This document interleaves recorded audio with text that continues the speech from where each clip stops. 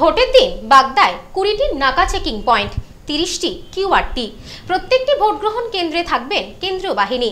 তিনশো একটি বুথে হবে ভোট গ্রহণ বুথে বুথে পৌঁছে গেলেন ভোটকর্মীরা।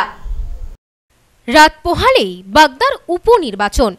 দায়িত্ব বুঝে নিয়ে ভোট কেন্দ্রে পৌঁছে গেলেন ভোটকর্মীরা। তৎপরতা তুঙ্গে কমিশনের। রাত পোহালেই বাগদার উপনির্বাচন। মঙ্গলবার সকাল থেকেই নির্বাচন কমিশনের তরফে হেলেনশা হাই স্কুলে করা ডিসিআরসি সেন্টারে পৌঁছে গিয়েছেন ভোটকর্মীরা।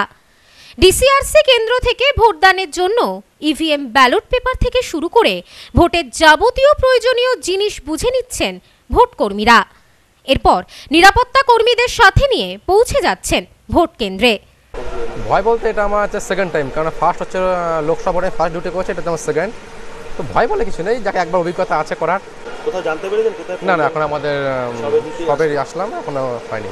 কমিশন সূত্রে জানা গিয়েছে বাগদা বিধানসভার মোট বারোটি গ্রাম পঞ্চায়েত রয়েছে তিনশো একটি বুথ।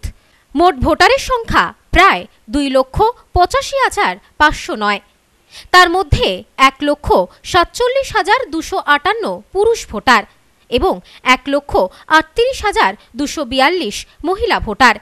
এবং তেরো জন তৃতীয় লিঙ্গের ভোটার রয়েছে।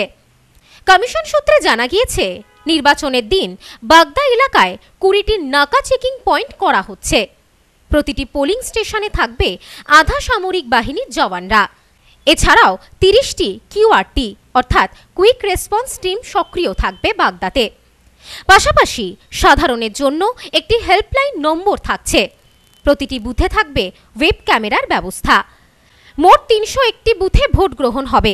দায়িত্বে থাকবে কুড়ি কোম্পানি কেন্দ্রীয় বাহিনী। পাশাপাশি নশো পঞ্চাশ জন পুলিশ কর্মী মোতায়েন থাকবে বলে জানা গিয়েছে। আমাদের দুশো নিরানব্বইটা মেন বুথ আছে আর দুটো অক্সিলিয়ারি বুথ আছে। মানে পনেরোশো ভোটার থাকলে ইলেকশন কমিশনের নিয়ম অনুযায়ী সেখানে অ্যাডিশনাল অক্সিলিয়ারি বুথ হওয়ার কথা সেই রকম দুটো আছে। আমার নটা গ্রাম পঞ্চায়েত আর বনগা ব্লকের তিনটে গ্রাম পঞ্চায়েত মিলে এই বারোটা গ্রাম পঞ্চায়েতে তিনশো একখানা বুথ হ্যাঁ মেডিকেল টিম থাকবে বুথগুলোতে বিএমওই সাহেব যথেষ্ট পরিমাণে মেডিকেল স্টাফ রেখেছেন ওখানে। তাছাড়া বৃষ্টির সমস্যা এখন দেখা দিতে পারে বলে আমরা প্রত্যেকটা বুথে শেডের ব্যবস্থা করেছি। পর্যাপ্ত পরিমাণ, পরিমাণে জল থাকবে। আর ফ্যানের ব্যবস্থা রাখছি। এমনি কোনো সমস্যা হওয়ার কথা নয়।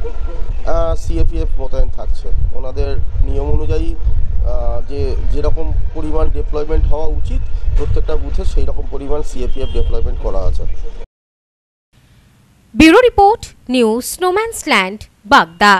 Sampriti guest house hotel and restaurant সমস্ত আধুনিক সুবিধাযুক্ত AC double bedroom standard double bedroom twin bedroom deluxe double bedroom. আমাদের হোটেলেই রয়েছে বাঙালির খাবার সহ মাল্টি কুইজিন রেস্টুরেন্ট শহরের মধ্যে অথচ সম্পূর্ণ নিরাপদ পরিবেশে।